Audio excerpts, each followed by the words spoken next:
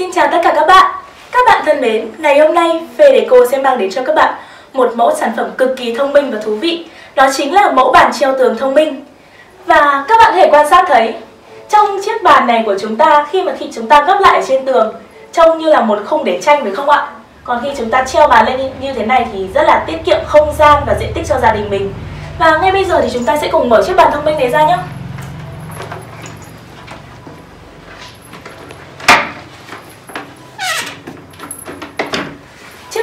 thông minh này của chúng ta có thể sử dụng vừa để làm bàn làm việc cũng vừa sử dụng để làm bàn ăn được. Với kích cỡ của chiếc bàn này đó là 75 x 45 x 73 cm chiều cao. Và các bạn có thể sử dụng không chỉ để ngồi làm việc mà các bạn có thể sử dụng để làm bàn ăn luôn. Khi nào chúng ta không cần sử dụng đến có thể gấp lên treo trên tường như vừa rồi, rất là tiết kiệm diện tích cho gia đình phải không ạ?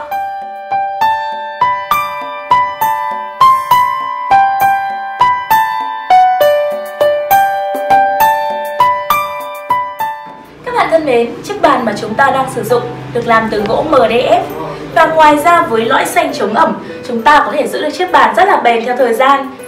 Thêm nữa, chiếc bàn của chúng ta được phủ một lớp vernier chống xước. Các bạn có thể quan sát thấy mặt bàn của chúng ta rất là trơn và bóng phải không ạ? Và rất là khó để làm xước chiếc bàn này.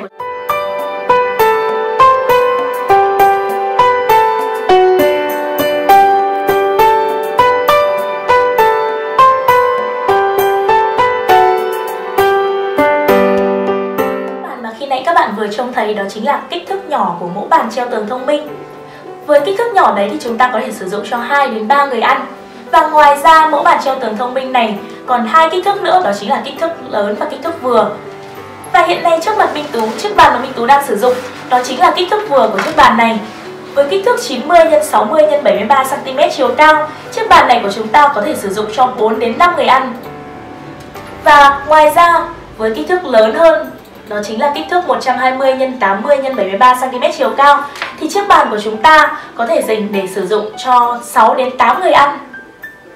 Và đặc biệt rằng hiện nay thì Fedeco đang có mức giá vô cùng ưu đãi cho những chiếc bàn này của chúng ta. Với chiếc bàn kích thước nhỏ, hiện nay đang có giá là 1 triệu 400 nghìn đồng. Với kích thước vừa, chiếc bàn của chúng ta đang có giá là 1 triệu 700 nghìn đồng. Và cuối cùng là kích thước lớn hơn, đang có giá là 2 triệu 100 nghìn đồng.